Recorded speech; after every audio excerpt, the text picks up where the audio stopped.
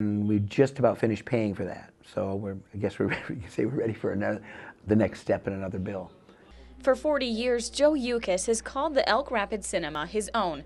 The one-screen theater dates back to 1940. It was built extremely well, which is probably why we still have it. Almost everything is concrete.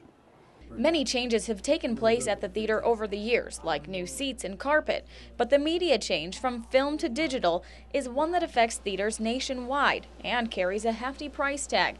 The new projector alone cost over $60,000 for this theater. Add in a new sound system, ventilation, and training, and you're looking at $80,000. We're in good enough shape to borrow the money.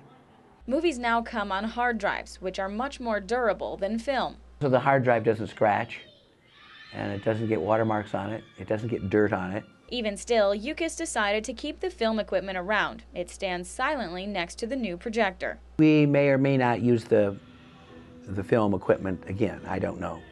Obviously, if the digital goes down tomorrow um, and has to be removed and sent to the factory, there's 35 millimeter copies. We can call up and say, hey, send me a 35. Which works as a pretty good insurance policy. And we may never need it, but uh, maybe we will. Don't know.